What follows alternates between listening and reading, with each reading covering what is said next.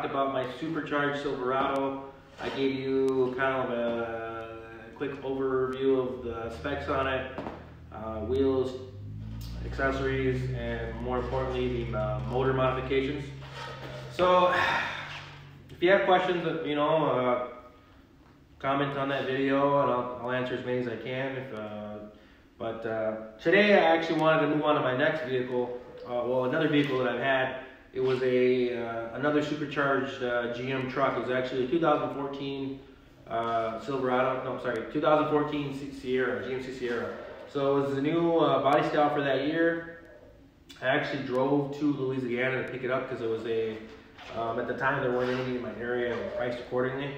But uh, this one was a it's called the Black Widow. I'm sure by now you everyone's heard of Black Widows. They're they're a conversion truck built by Southern Comfort Automotive. And uh, so what they do with a conversion truck for them on a Black Widow is they do fender flares, they do like a hood scoop, they add graphics on it, uh, they do a, usually normally a 6 inch lift. They throw uh, 35 inch tall tires on it. They'll do like a, more more than likely they'll do like a like a 20 by 9 uh, wide wheel with like a negative 12 offset, you know, just enough to be even with the with the flares.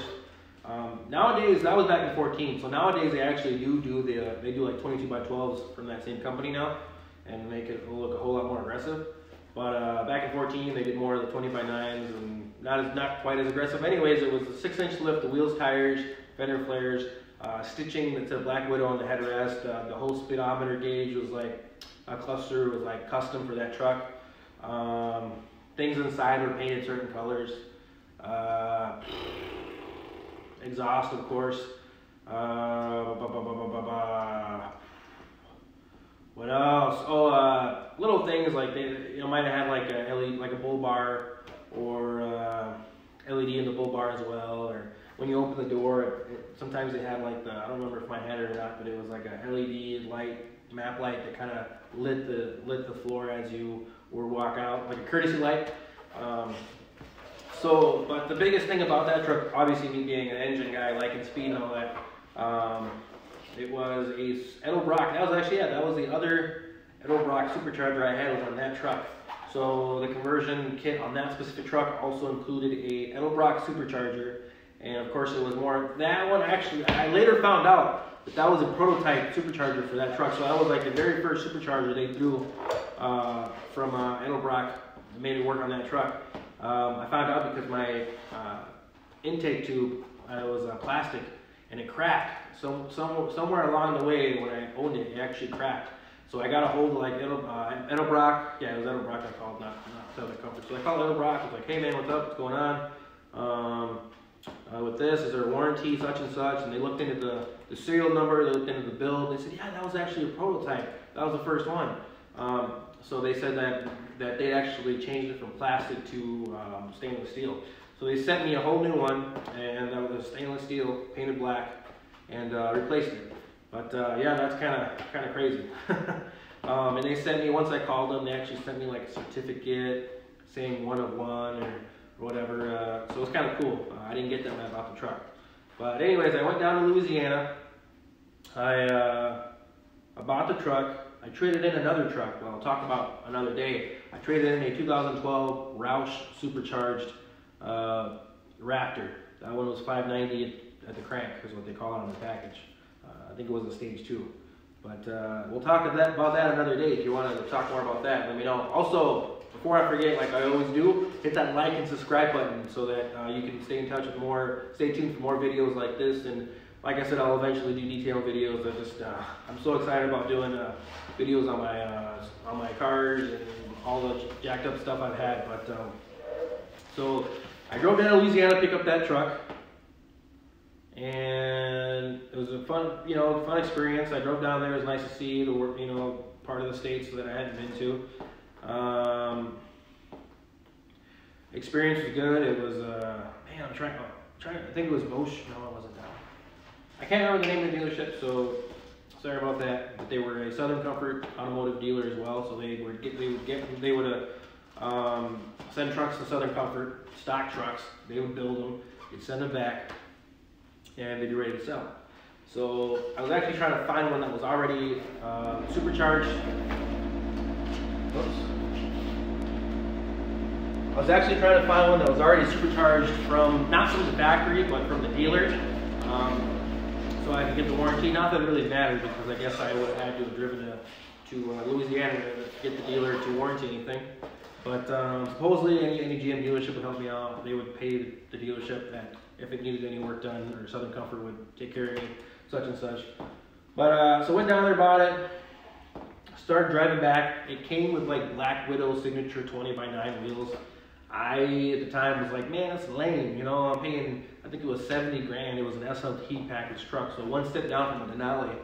And uh, it's like, that's lame, you know. And I actually was looking online trying to find a shop that did custom wheels and tires or aftermarket wheels and tires along the route, back, along the, my route back home. And I ended up finding a shop uh, called uh, Arc Wheel and Tire over in Arkansas. And uh, really cool shop. I mean, they got like a half audio, half wheel and tire shop and they've only gotten bigger with time. I still follow them on Facebook and Instagram. Really cool shop. They do a lot of custom builds there, a lot of cool builds, big tires, big wheels, uh, big lifts, uh, a lot of cool stuff. Um, so follow them if you want to check them out. But uh, what do I stop through? I was like, hey, what's up, man? Can you guys help me out? I got these wheels that are, you know, they're cool. They're just not cool for me, and uh, they're not my thing. And you know, I, I looked at what they had in stock. Like, yeah, yeah, you know. And I asked them if they want to do like trade, you know, give me some credit for my wheels. I don't remember what they gave me because I kept my tires. My tires were nice. They were like Mickey Thompson's 35s, and they were like 12 inch wide. So I, I did the tires. It's just the wheels. So yeah, I don't remember if it was like four or five hundred bucks they gave me for the wheels, if that maybe. I don't know. But um, the new ones were like Moto Metals, and uh, I'll actually post a few videos. I got videos of like a coal startup. I got videos of uh, a picture of when I bought it, how it looked. Um, I got videos of a couple races I did with that truck. Um, so I'll talk more about the build too, because there's more, there's more to talk about. Um, so anyways, I went to Arc Wheel and Tire. They hooked me up with the wheels. Um, as I left, they thought it was really cool. The truck was really cool. They hadn't seen one. Um, as I left, I, little, I did a little uh, like a, uh, uh, heavy acceleration. it spun the tires and they took a little picture video of it and they posted it on their on their Facebook page. That was pretty cool. Um, so I went. I was all after that. You know, I, I loved the way it looked. I went home, uh, drove drove the rest of the trip back, and it didn't take but maybe a couple months before I was like, man, I need some more power. You know, and uh, it was a it was a great truck though. That one actually never broke down, never had any issues. At some point there was a fuel fuel issue because I, I added more horsepower to it. You know me, added more power, never enough. So I added more power to it, and it was short on fuel, and it was going in limp mode. So I added uh, at the time, all I could find was, I think they said it was like a fuel pump out of a ZR1 or ZL1 or something like that. And they, uh, that was more of like a plug and play type thing. So they, they ended up doing that, and, and then after that, it was fine. But um, so I called the late model throttle, was in Waukesha, Wisconsin.